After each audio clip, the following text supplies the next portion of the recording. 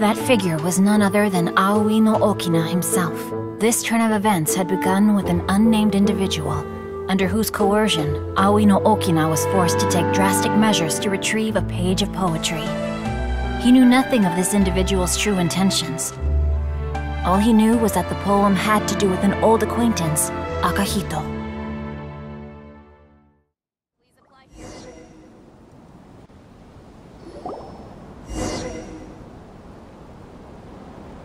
Albedo really is something. He finished the portrait of Aoi no Okina in no time at all.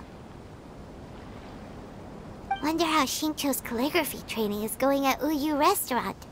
Hey, do you think whoever left those stories for us could be hiding somewhere nearby?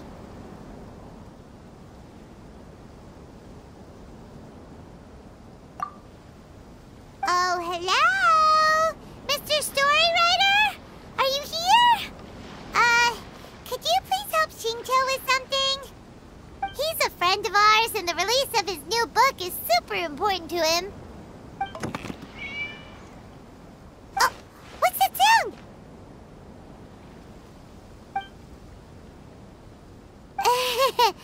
it was just a cat. Looks like we can't make them reveal themselves that easily. It's getting late now. Well, let's go back and get some rest. We still have to go to the docks and wait for another ship tomorrow morning.